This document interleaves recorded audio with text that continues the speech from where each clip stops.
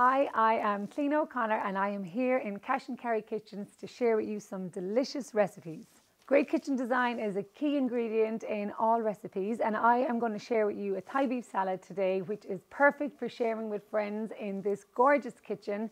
Today I am cooking in the Modica Forest Green Kitchen and as I share the recipe with you I'll show you some of the key features which make this kitchen perfect for entertaining.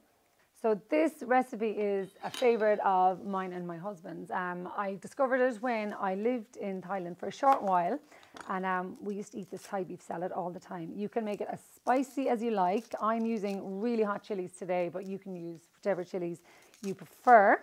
Um, so the first thing I'm going to do is I am going to chop a couple of shallots. I'm using four because I am making enough for four because I'm going to have some friends around to share it with. Now I am going to just tidy up my counter. Um, what I love about this kitchen is the integrated bin system. So I can just sweep them in here, no mess, nice and easy. The way I see it is, it's kind of therapeutic anyway, just to stand still and chop for 10 minutes.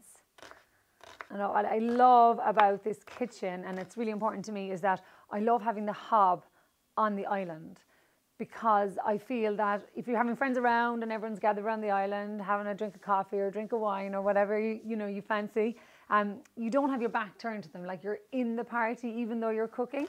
And I think that's hugely important for family life and for entertaining, just being stuck in the middle of it.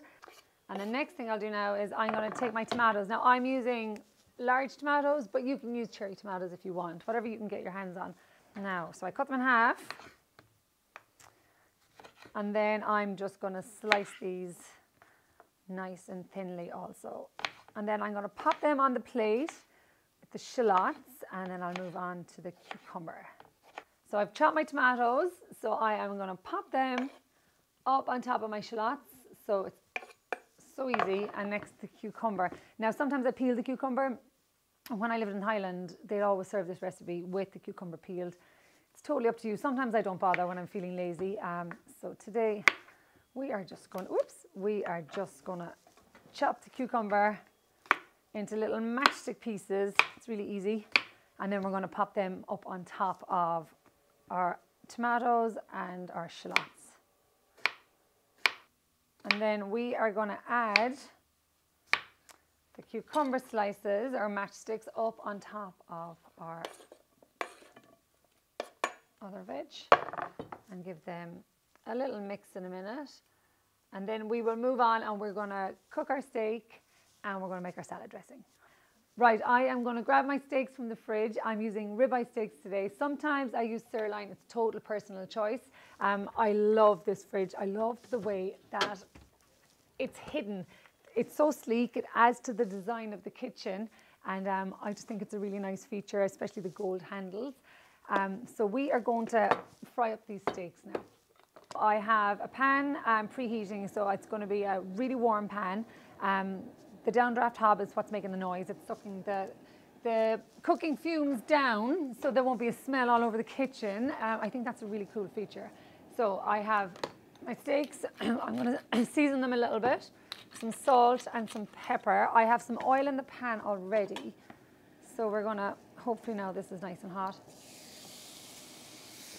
So we're gonna pop them on, cook them on a high heat for about a minute each side and then I'll turn down the heat and leave them cook until they are ready.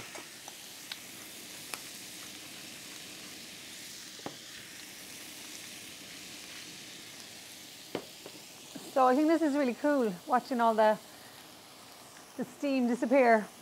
And with the wine fridge there, like you can just get your friends to pour you a glass of wine and hand it to you over the counter.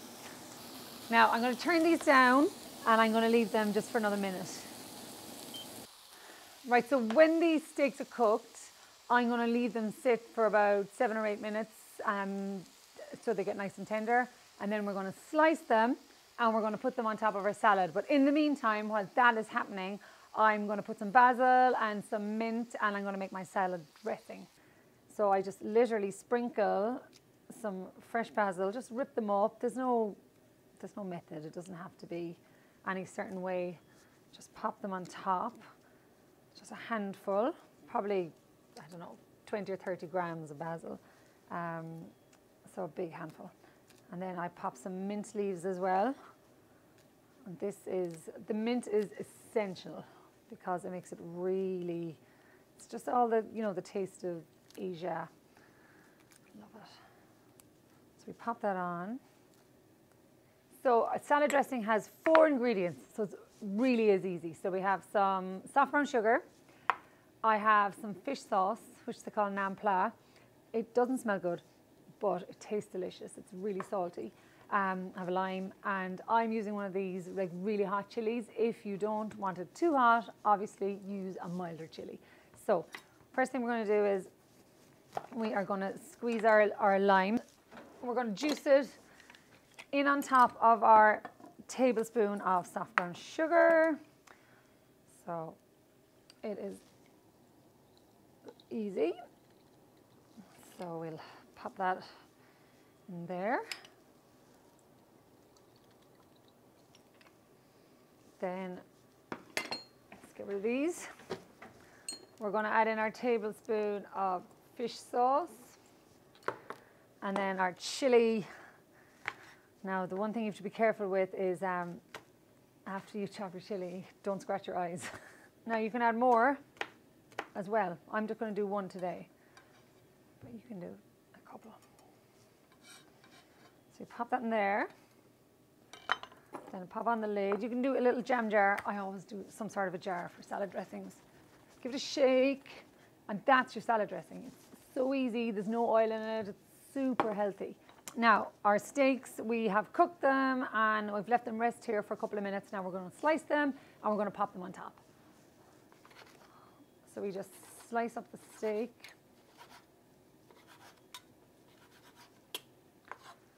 And I like to lay that on top.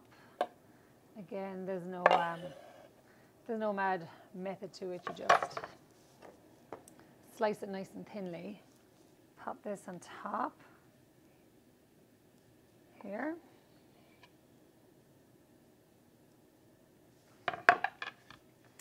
And then you add your salad dressing, pour it over. And then I like to serve this with rice. Um, you can serve it with quinoa, rice, whatever, bread and butter, whatever you fancy. So that is my super easy Thai beef salad.